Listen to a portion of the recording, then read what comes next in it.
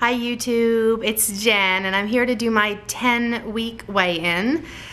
I um, weighed myself this morning and I lost a pound, crazily enough, because I was sure after the watermelon mojitos on um, Memorial Day that, probably wasn't gonna happen, but I must have done great the rest of the week because I still lost a pound um, this week. I did start tracking my calories and my protein again. I'd stopped doing that and I'm finding I really need to do that to stay on top of my weight loss. So I just keep it really informal. I've got a little thing and I have the day's date and a little C column and a P column and I just put the numbers under it as I eat calories and protein and then just kind of add it up along the way so I know where I am. Nothing formal. Um, so that is um, how I did with weight-wise. Um, had a little accident this week and I was mowing the grass in my flip-flops and turned off the mower and went around to go get the bag and stubbed my pinky toe on the mower and broke my toe. So yes, I've learned my lesson, never to mow the grass. I figured that's a pretty good lesson, right? And um, um, I have, let me show you, poor, so sad. Look down here, look. Yes, there's my little, my little toes in there. My little pinky toe is broken. Um, so I'm in this boot thing for, um, I'm in the boot thing for like four weeks and then I'm not supposed to really do any exercise for like six weeks. And then he still thinks I should just keep it to swimming and cycling and really not do any running or jogging or anything on it. She's walking a little bit, but just to take it easy on it for a few months. So, hmm, so that's where I am with my toe.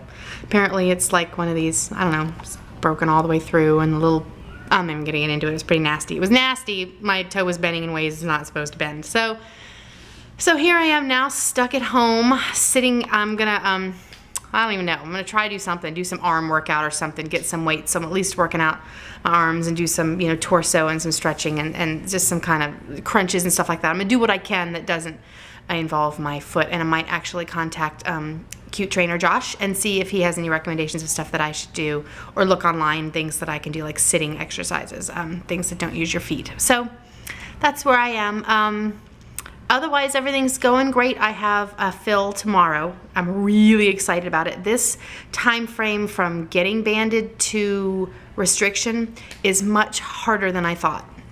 And in the beginning, when you have surgery, you're not hungry, weight is coming off pretty quickly, um, you're motivated and excited, so it's okay to eat 12 ounces of food in one day and 500 calories. Like you can just kind of suffer through because you're so excited. Well after you know 10 weeks it kind of wears on you and I'm ready for some help from this tool. Um, I didn't have a lot of expectations of myself during this period until I got restriction just because I didn't want to set myself up for failure it's hard I mean I'm pretty much just myself all the weight I've lost so far has been me choosing to eat what I should and eat the small amounts and um, so I'm um, looking forward to some help. So hopefully with my fill tomorrow, I will have a, some restriction to help me out in this journey. But otherwise, I'm doing great. You know, I'm still losing.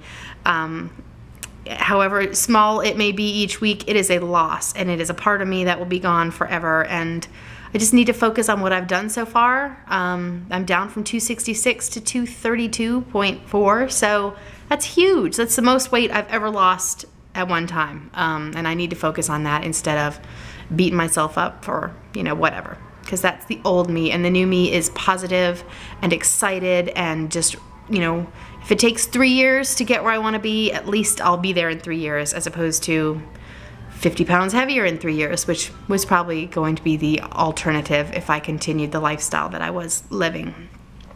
So, um, I'm, I'm sorry I won't be doing the C to 5K with you all. Um, I'll still work on the last couple weeks. Oh, I did a podcast for week seven for anybody who's interested. A lot of people have been downloading them. I'm downloading them. I'm shocked. It's so it's so exciting for me to think that I'm helping anybody to do this. Um, I'm gonna ignore the phone, so just you ignore it too. Otherwise, it's gonna drive me crazy. Ah. Um, and then I'll I'll do the um, uh, podcast. I'll make one for weeks eight and nine as well, and then that's it. So hopefully everybody is doing great. Um, um, I'm not much more to report. This is going to be a short video. I will talk to you all later. Oh, oh, oh, I did buy some more clothes. This is just real quick thing. I did buy go to buy some clothes, and um, I have stacks and stacks of clothes to donate or get rid of or whatever I'm gonna do with them um, from size 20, all my size 20s up to I have 22, 24, and then I've got some 2X and 3X shirts. Gosh, sorry. Oh, my doctor's reminding me of my appointment tomorrow on my answering machine. Um, yeah, okay. Um, so I'm going to um, figure out what to do with those clothes, and then, I, but I did buy some new clothes. I bought um, three shirts that are extra large, so they're regular size shirts. You know, they would be in like a normal normal people's store, and then size 18 as the pants I've been wearing are all 18. So um, I am definitely moving on down the um, the size um, charts. So that's exciting, and that's even more exciting to me than the pounds lost because that is that's just definite something I can see and touch and feel, and I'm reminded every day as I put on my clothes that I'm smaller than I used to be. I did keep one pair of pants, my my biggest pair of pants. For them later. I love seeing everybody compare their size. Uh, Kellawanda just did a great uh, video comparing her her pants her pants that she started with to the pants she's in now. Unbelievable. For those of you who want to go see, it's Kellawanda, K-E-L-L-A-W-A-N-D-A. Great video. So I'll talk to you all later. Have a great day. Bye.